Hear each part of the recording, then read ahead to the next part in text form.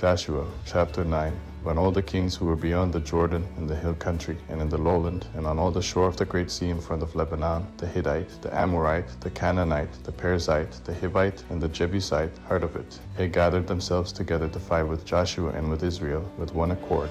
But when the inhabitants of Gibeon heard what Joshua had done to Jericho and to Ai, they also resorted to a ruse and went and made as if they had been ambassadors, and took old sacks on their donkeys, and old, torn up and bound up wineskins, and old and patched sandals on their feet, and wore old garments. All the bread of their food supply was dry and moldy. They went to Joshua at the camp at Gilgal, and said to him and to the men of Israel, We have come from a far country. Now therefore make a covenant with us. The men of Israel said to the Hivites, What if you live among us? How could we make a covenant with you? They said to Joshua, We are your servants. Joshua said to them, Who are you? Where do you come from? They said to him, Your servants have come from a very far country because of the name of Yahweh your God, for we have heard of his fame, all that he did in Egypt, and all that he did to the two kings of the Amorites who were beyond the Jordan, to Sihon king of Heshbon, and to Og king of Bashan, who was at Ashtaroth. Our elders and all the inhabitants of our country spoke to us, saying, Take supplies in your hand for the journey, and go to meet them. Tell them, We are your servants. Now make a covenant with us. This our bread we took hot for our supplies out of our houses on the day we went out to go to you. But now, behold, it is dry and has become moldy. These wineskins which we filled were new, and behold, they are torn. These our garments and our sandals have become old because of the very long journey. The men sampled their provisions and didn't ask counsel from Yahweh's mouth. Joshua made peace with them and made a covenant with them to let them live. The princes of the congregation swore to them. At the end of three days after they had made a covenant with them, they heard that they were their neighbors and that they lived among them. The children of Israel traveled and came to their cities on the third day. Now their cities were Gibeon, Chephirah, Beeroth, and Kiriath Jearim. The children of Israel didn't strike them because the princes of the congregation had sworn to them by Yahweh, the God of Israel. All the congregation murmured against the princes. But all the princes said to all the congregation, We have sworn to them by Yahweh, the God of Israel.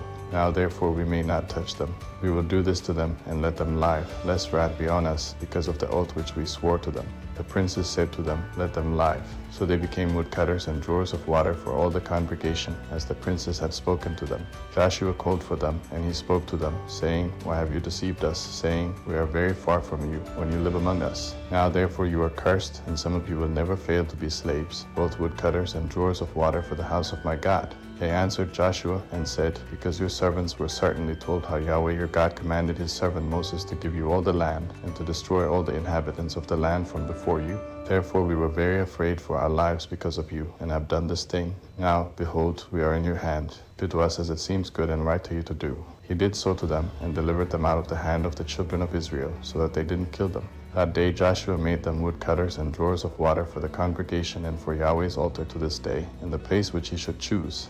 Joshua chapter 10 Now when Adonizedek king of Jerusalem heard how Joshua had taken Ai and had utterly destroyed it, as he had done to Jericho and her king, so he had done to Ai and her king, and how the inhabitants of Gibeon had made peace with Israel, and were among them. They were very afraid, because Gibeon was a great city, as one of the royal cities, and because it was greater than Ai, and all its men were mighty. Therefore Adonizedek king of Jerusalem sent to Hoham king of Hebron, Piram king of Jarmuth, Japhia king of Lachish, and Debir king of Eglon, saying, Come up to me and help me. Let's strike Gibeon, for they have made peace with Joshua and with the children of Israel. Therefore the five kings of the Amorites, the king of Jerusalem, the king of Hebron, the king of Jarmuth, the king of Lachish, and the king of Eglon gathered themselves together and went up, they and all their armies, and encamped against Gibeon, and made war against it. The men of Gibeon sent to Joshua at the camp at Gilgal, saying, Don't abandon your servants. Come up to us quickly and save us. Help us, for all the kings of the Amorites that dwell in the hill country have gathered together against us. So Joshua went up from Gilgal, he and the whole army with him, including all the mighty men of valor. Yahweh said to Joshua, Don't fear them, for I have delivered them into your hands. Not a man of them will stand before you. Joshua therefore came to them suddenly. He marched from Gilgal all night. Yahweh confused them before Israel. He killed them with a great slaughter at Gibeon, and chased them by the way of the ascent of Beth Horon, and struck them to Azekah and to Makkedah. As they fled from before Israel, while they were at the descent of Beth Horon, Yahweh hurled down great stones from the sky on them to Azekah, and they died. There were more who died from the hailstones than those whom the children of Israel killed with the sword. Then Joshua spoke to Yahweh in the day when Yahweh delivered up the Amorites before the children of Israel. He said in the sight of Israel, Sun, stand still on Gibeon. You, moon, stop in the valley of Ajalon. The sun stood still and the moon stayed until the nation had avenged themselves of their enemies. Isn't this written in the book of Jashar? The sun stayed in the middle of the sky and didn't hurry to go down about a whole day. There was no day like that before it or after it, that Yahweh listened to the voice of a man, for Yahweh fought for Israel. Joshua returned, and all Israel with him, to the camp to Gilgal. These five kings fled and hid themselves in the cave of Makkedah. Joshua was told, saying, The five kings have been found, hidden in the cave of Makkedah. Joshua said, Roll large stones to cover the cave's entrance, and send men by it to guard them, but don't stay there. Pursue your enemies, and attack them from the rear. Don't allow them to enter into their cities, for Yahweh your God has delivered them into your hand. When Joshua and the children of Israel had finished killing them with a very great slaughter until they were consumed, and the remnant which remained of them had entered into the fortified cities, all the people returned to the camp to Joshua at Makkedah in peace, and moved his tongue against any of the children of Israel. Then Joshua said, Open the cave entrance, and bring those five kings out of the cave to me. They did so, and brought those five kings out of the cave to him the king of Jerusalem, the king of Hebron, the king of Jarmuth, the king of Lachish, and the king of Eglon.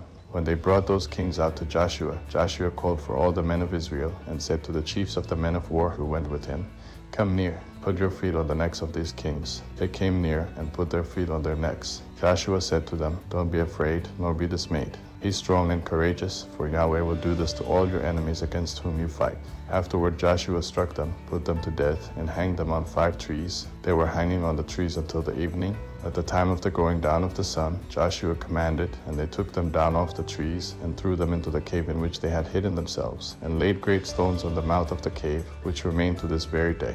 Joshua took Makkedah on that day and struck it with the edge of the sword, with its king. He utterly destroyed it and all the souls who were in it. He left no one remaining. He did to the king of Makkedah as he had done to the king of Jericho. Joshua passed from Makkedah and all Israel with him to Libnah and fought against Libnah. Yahweh delivered it also with its king into the hand of Israel. He struck it with the edge of the sword and all the souls who were in it. He left no one remaining in it. He did to its king as he had done to the king of Jericho. Joshua passed from Libnah and all Israel with him to Lachish and encamped against it and fought against it. Yahweh delivered Lachish into the hand of Israel. He took it on the second day and struck it with the edge of the sword, with all the souls who were in it, according to all that he had done to Libnah. Then Horam king of Gezer came up to help Lachish, and Joshua struck him and his people, until he had left him no one remaining. Joshua passed from Lachish and all Israel with him to Eglon, and they encamped against it and fought against it. They took it on that day and struck it with the edge of the sword.